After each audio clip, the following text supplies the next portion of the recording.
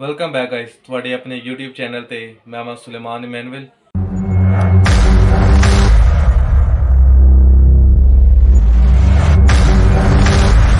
ਤੇ ਗਾਇਸ ਉਮੀਦ ਕਰਨਾ ਸਾਰੇ ਵਧੀਆ ਹੋਣਗੇ, ਕੈਮ ਹੋਣਗੇ ਤੇ ਰਿਐਕਸ਼ਨ ਇੰਜੋਏ ਕਰਦੇ ਹੋਵੋਗੇ। ਜੇ ਰਿਐਕਸ਼ਨ ਇੰਜੋਏ ਕਰਦੇ ਹੋ, ਤੇ ਕਮੈਂਟ ਕਰਕੇ ਲਾਜ਼ਮੀ ਦੱਸਿਆ ਕਰੋ। ਤੇ ਅੱਜ ਹਾਜ਼ਰ ਹਾਂ ਅਸੀਂ ਇੱਕ ਹੋਰ ਨਵੀਂ ਵੀਡੀਓ ਲੈ ਕੇ। ਅੱਜ ਜਿਹੜੀ ਵੀਡੀਓ ਤੁਸੀਂ ਰਿਵਿਊ ਕਰਨ ਲੱਗੇ ਆ ਵੇਖਣ ਲੱਗੇ ਆ ਉਹ ਵੇ ਸਿੱਧੂ ਮੂਸੇਵਾਲਾ ਜੀ ਦਾ ਇੰਟਰਵਿਊ ਵੇ। ਇੱਕ ਰਿਪੋਰਟਰ ਨੂੰ ਆਪਣੇ ਟਰੈਕਟਰਸ ਦੀ ਗੱਡੀਆਂ ਦੀ ਕਲੈਕਸ਼ਨ ਦੱਸਦੇ ਪਏ ਨੇ ਉਹਨਾਂ ਬਾਰੇ ਗੱਲ ਕਰ ਰਹੇ ਨੇ। ਤੇ ਵੀਡੀਓ ਬੜੀ ਖਾਸ ਹੋਣ ਵਾਲੀ ਹੈ ਤੇ ਵੀਡੀਓ ਵੇਖਨੇ ਆ ਤੇ ਵੀਡੀਓ ਸਟਾਰਟ ਕਰਨ ਤੋਂ ਪਹਿਲੇ ਤੁਹਾਡੇ ਸਾਰਿਆਂ ਨਾਲ ਰਿਕੁਐਸਟ ਤੁਸੀਂ ਇੱਥੇ ਆਏ ਗਏ ਹੋ ਤੇ ਚੈਨਲ ਨੂੰ ਸਬਸਕ੍ਰਾਈਬ ਕਰਨਾ ਨਾ ਭੁੱਲਿਓ ਤੇ ਬੈਲ ਆਈਕਨ ਜ਼ਰੂਰ ਪ੍ਰੈਸ ਕਰ ਲਿਓ। ਇਹਦੇ ਨਾਲ ਕਿ ਸਾਡੀ ਲੇਟੈਸਟ ਵੀਡੀਓ ਦੀ ਅਪਡੇਟ ਤੁਹਾਨੂੰ ਟਾਈਮ ਦੇ ਨਾਲ ਫਿਰ ਮਿਲਦੀ ਰਹੇਗੀ। ਤੇ ਵੀਡੀਓ ਸਟਾਰਟ ਕਰਨੇ ਆ ਤੇ ਆਖਰ ਤੱਕ ਵੀਡੀਓ ਲਾਜ਼ਮੀ ਵੇਖਿਓ ਤੇ ਵੀਡੀਓ ਸ਼ੁਰੂ ਕਰਦੇ ਆ ਜੀ ਹਾਂਜੀ ਹਾਂਜੀ ਹਾਂਜੀ। ਇਹ ਆਪਣੇ ਮਿੱਤਰ ਦਾ ਟਰੱਕ ਹੈ ਜੀ ਇਹ ਮੇਰੇ ਕੋਲੇ ਮੈਨੂੰ ਛੱਡ ਛੁੱਟ ਜਾਂਦੇ ਨੇ ਬਸ। ਹਾਂ। ਹਾਂ ਕੋਈ ਹਾਂ ਆ ਇੱਕ ਗੱਡੀ ਸਪੈਸ਼ਲ ਤਿਆਰ ਕਰਾਈ ਹੋਈ ਹੈ। ਜੀ ਇਹ ਵੀ ਸਾਰੇ ਦੋਸਤ ਮਿੱਤਰ ਮਿੱਤਰਾਂ ਦੇ ਨੇ ਜੀ ਜਿਹੜੇ ਆਪਣੇ ਕੋਲੇ ਛੱਡ ਛੁੱਟ ਜਾਂਦੇ ਨੇ। ਹਾਂ। ਚਲਾਉਣ ਚਲਾਉਣ ਵਾਸਤੇ ਵੀ ਉਹਨੂੰ ਸ਼ੌਂਕ ਹੈ ਮੈਂ ਰੱਖ ਰੁੱਖ ਲੈਣਾ ਇਹਨਾਂ ਚੀਜ਼ਾਂ ਨੂੰ। ਇਹ ਕਿਹੜੀ ਇਹਦਾ ਨਿਸ਼ਾਨ ਜਾਊਂਗਾ ਵਨ ਟਨ ਹੈ ਜੀ। ਨਿਸ਼ਾਨ ਜੋਗਾ ਇਹ ਕੋਈ ਡੱਬਾ ਵਾਲੀ ਤੋਂ ਤਿਆਰ ਕਰਾਇਆ? ਇਹ ਨਹੀਂ ਇਹ ਮੁੰਡੇ ਇੱਧਰ ਦੇ ਨੇ ਬੋਰ ਦੇ ਨੇ। ਅੱਛਾ ਬੜਾ ਖੂਬਸੂਰਤ ਹੈ। ਇਹ ਵੀ ਤੁਸੀਂ ਚਲਾਉਂਦੇ ਹੋ? ਇਹ ਚਲਾ ਲੈਣੇ ਕਦੇ ਕਦੇ ਹੁਣ ਤਾਂ ਮੌਕਾ ਹੀ ਨਹੀਂ ਮਿਲਿਆ ਜੀ। 11 ਦਿਖਾਓ ਬਹੁਤ ਪਿਆਰ ਹੈ ਔਰ ਇਹਦੇ ਤੇ ਤੁਸੀਂ ਗਾਣਾ ਵੀ ਕੱਢਿਆ। ਹਾਂ ਜੀ ਹਾਂ ਆਜੋ ਇੱਧਰ ਇੱਕ ਹੋਰ ਖੜਾ ਹੈਗਾ ਇੱਧਰ ਦਿਖਾਉਣਾ ਤੁਹਾਨੂੰ। ਹਾਂ। ਆਜੋ ਤੁਸੀਂ ਸਪੈਸ਼ਲ ਤਿਆਰ ਕਰਵਾਏ ਹੋਏ ਸਾਰੇ। ਸਾਰੇ ਹਾਂਜੀ। ਹਾਂ 59 11 ਤਾਂ ਇਹ ਬਹੁਤ ਵੱਡੇ ਟਰੈਕਟਰ ਮੰਨੇ ਜਾਂਦੇ ਨੇ ਔਰ ਇਸੇ ਕਰਕੇ ਸ਼ੌਂਕ ਵੀ ਹੈ ਔਰ 911 ਫੋਰਡ ਹਾਂ। 855 911 ਕਿੰਨੇ ਰੱਖੇ ਹੋਏ ਤੁਸੀਂ? ਚਾਰ ਪੰਜ ਟਰੈਕਟਰ ਹੈ ਜੀ ਆਪਣੇ ਕੋਲ ਪੰਜ ਟਰੈਕਟਰ ਨੇ ਜੀ। ਸਿੱਧੂ ਫਾਰਮ ਪੂਰਾ ਤੁਸੀਂ ਜਿਹੜਾ ਇੱਕ ਤੁਹਾਡੇ ਦੋਸਤ ਜਿਹੜੇ ਨੇ ਜਿਹੜੇ ਕੈਨੇਡਾ ਤੁਹਾਡੇ ਨਾਲ ਕੰਮ ਕਰਦੇ ਹੋਣਗੇ ਜਾਂ ਤੁਹਾਡੇ ਵੈਸੇ ਗਾਇਕ ਦੋਸਤ ਆਂਦੇ ਇੱਥੇ? ਹਾਂ ਹੀ ਆਉਂਦੇ ਨੇ ਜੀ। ਇਹ ਕਿ ਆ ਨਵਾਂ ਲਿਆ ਸੀ ਖੇਤੀ ਖੁੱਤੀ ਵਾਸਤੇ ਫਿਰ। ਨਵੀਂ ਟੈਕਨੀਕ ਸੁਪਰ ਸੀਡਰ ਹੁਣ ਸਾਰੀਆਂ ਬਦਲ ਜਾਂਦੀਆਂ ਦੂਜੇ ਪੁਰਾਣੇ ਟਰੈਕਟਰ ਚਲਾਉਂਦੇ ਨਹੀਂ ਆ ਨਵਾਂ ਤੁਸੀਂ ਹਵੇਲੀ ਤਿਆਰ ਕੀਤੀ। ਇਹ ਹੋਈ ਲਿਖਿਆ ਇੱਥੇ ਤੁਸੀਂ ਮਾਤਾ ਜੀ? ਹਾਂਜੀ ਹਾਂਜੀ ਮਾਤਾ ਜੀ ਆਏ ਹਾਏ ਤਾਂ ਅਸੀਂ ਇੱਧਰ ਆਏ ਨਹੀਂ ਹੈ ਹਾਂ।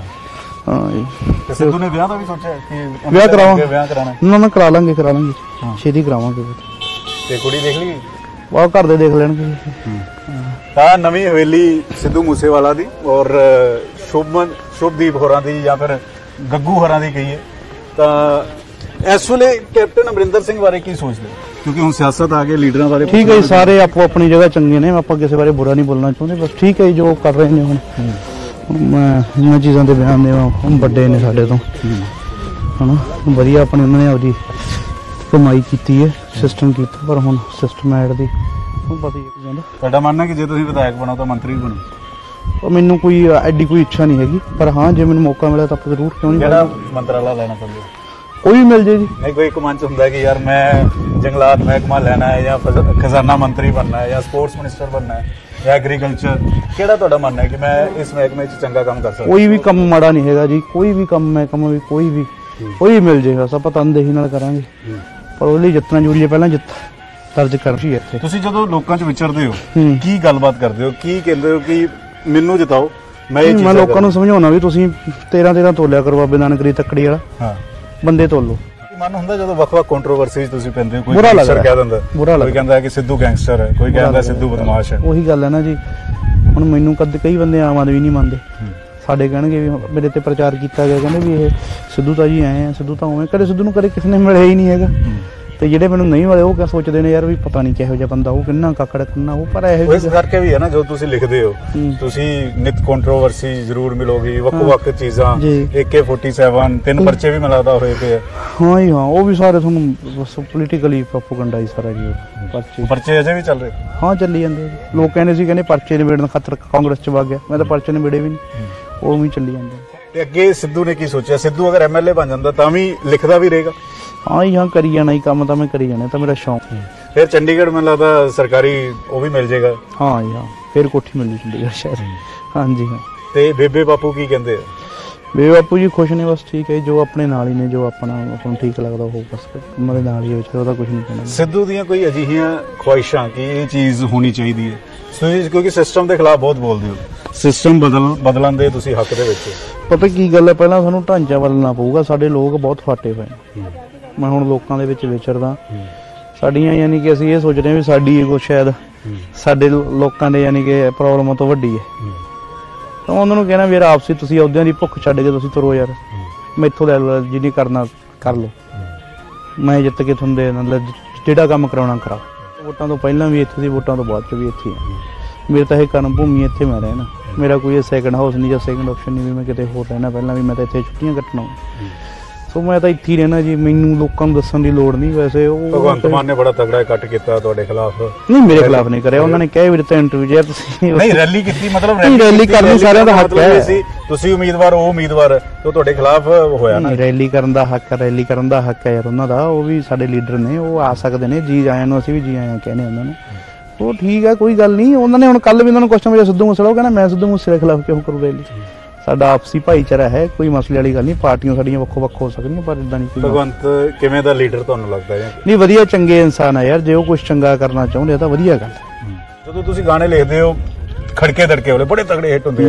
ਤੁਹਾਡੀ ਇਮੇਜ ਵੀ ਉਸ ਤਰੀਕੇ ਦੀ ਬਣੀ ਹੋਈ ਹੈ ਕਿ ਸਿੱਧੂ ਮੂਸੇਵਾਲਾ ਪਤਾ ਨਹੀਂ ਕੀ ਹੈ। ਜੀ। ਨਹੀਂ ਨਹੀਂ ਪਤਾ ਕੀ ਗੱਲ ਹੈ ਵੀ ਹੁਣ ਲੋਕ ਪਸੰਦ ਹੀ ਇਦਾਂ ਦਾ ਕੁਝ ਕਰਦੇ ਨੇ। ਸਾਰੇ ਤਰ੍ਹਾਂ ਦੇ ਗਾਣੇ ਤਾਂ ਮੇਰੇ ਸਾਰੇ ਤਰ੍ਹਾਂ ਦੇ ਹੀ ਨੇ।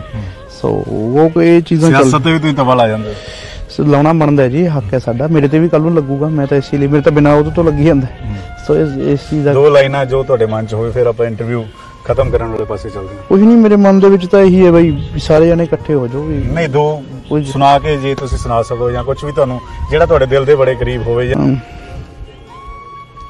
ਇਹਨਾਂ ਨੇ ਕਹਿੰਦਾ ਵੀ ਤੋਂ ਨਾਪੀ ਹੈ ਮੁੱਠੀ ਭਰ ਜ਼ਮੀਨ ਨਾ ਵੀ ਤੋਂ ਸਾਰਾ ਆਸਮਾਨ ਬਾਕੀ ਹੈ। ਸਾਡਾ ਤਾਂ ਹਲੇ ਵੀ ਮੈਂ ਸ਼ੁਰੂ ਸਿਰ ਚੋਂ ਪੂਣੀ ਵੀ ਨਹੀਂ ਕੱਤੀ।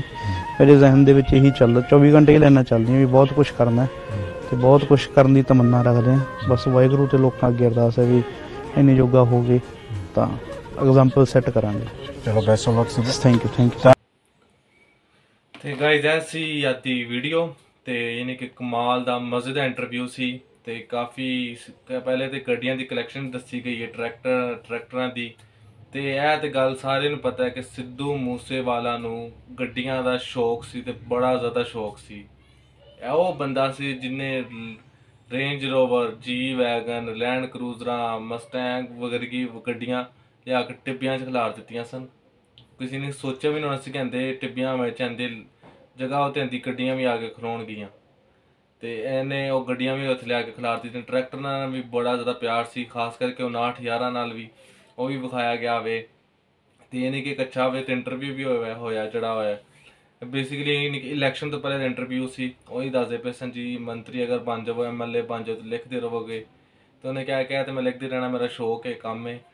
ਤੇ ਇਹ ਨਹੀਂ ਕਿ ਅੱਛਾ ਇੰਟਰਵਿਊ ਸੀ। ਤੇ ਆਖਰ ਵਿੱਚ ਜਿਹੜਾ ਸਿੱਧੂ ਮੂਸੇਵਾਲਾ ਨੇ ਕਿਹਾ ਕਿ ਹਾਲੇ ਬੜਾ ਕੁਝ ਕਰਨਾ ਹੈ, ਹਾਲੇ ਤੇ ਕੁਝ ਵੀ ਨਹੀਂ ਹੋਇਆ। ਹਾਲੇ ਤੇ ਬੜਾ ਚੀਜ਼ਾਂ ਤਬਦੀਲ ਕਰਨੀਆਂ ਨੇ। ਤੇ ਇਹ ਗੱਲ ਹੈ ਸੀ ਕਰ ਸਿਆਸਤ ਚ ਆ ਜਾਂਦੇ ਚਿਰ ਜਾਂਦੇ ਤੇ ਉਹ ਵਾਕਈ ਉਹਨਾਂ ਦਾ ਪਹਿਲੇ ਤੇ ਮੋਟਿਵ ਇਹ ਸੀ ਕਿ ਪੰਜਾਬ ਨੂੰ ਮੈਂ ਟੋਟਲ ਬਦਲ ਕੇ ਰੱਖ ਦੇਣਾ। ਜਿਹੜੇ ਲੋਕੀ ਇੱਥੋਂ ਬਾਹਰ ਕੈਨੇਡਾ, ਅਮਰੀਕਾ ਯੂਕੇ ਜਾਂਦੇ ਨੇ ਨਾ, ਉਹਨਾਂ ਨੂੰ ਜ਼ਰੂਰਤ ਨਹੀਂ ਪਏਗੀ ਜਾਣ ਦੀ। ਉੱਥੋਂ ਲੋਕੀ ਪੰਜਾਬ ਵਿੱਚ ਆਣਗੇ ਯਾਨੀ ਕਿ ਐਸੇ ਇਹ ਬੰਦੇ ਦੀ ਸੋਚ ਸੀ ਤੇ ਉਹਨੇ ਇੰਜ ਕਰ ਵੀ ਦੇਣਾ ਸੀ, ਹਾਲੇ ਵੀ ਉਹਨੇ ਪੰਜਾਬ ਵਾਸਤੇ ਬੜਾ ਕੁਝ ਕੀਤਾ ਵੇ। ਤੇ ਯਾਨੀ ਕਿ ਇੱਕ ਅੱਛਾ ਇੰਟਰਵਿਊ ਸੀ, ਮਜ਼ੇਦਾਰ ਇੰਟਰਵਿਊ ਸੀ, ਕਾਫੀ ਅੱਛੀ ਗੱਲਬਾਤ ਹੋਈ ਏ ਤੇ ਐਸੀ ਦਾ ਰਿਐਕਸ਼ਨ ਉਮੀਦ ਕਰਨਾ ਤੁਹਾਨੂੰ ਰਿਐਕਸ਼ਨ ਪਸੰਦ ਆਇਆ ਹੋਣਾ ਜੇ ਰਿਐਕਸ਼ਨ ਪਸੰਦ ਆਇਆ ਚੈਨਲ ਨੂੰ ਸਬਸਕ੍ਰਾਈਬ ਕਰਨਾ ਨਾ ਭੁੱਲਿਓ ਤੇ ਵੀਡੀਓ ਨੂੰ ਲਾਈਕ ਲਾਜ਼ਮੀ ਕਰ ਦਿਓ। ਮੈਨੂੰ ਇਜਾਜ਼ਤ ਦਿਓ, ਅਗਲੀ ਵੀਡੀਓ 'ਚ ਦੁਬਾਰਾ ਮੁਲਾਕਾਤ ਹੋਏਗੀ। ਆਪਣਾ ਬੜਾ ਜ਼ਿਆਦਾ ਖਿਆਲ ਰੱਖਿਓ। Piece out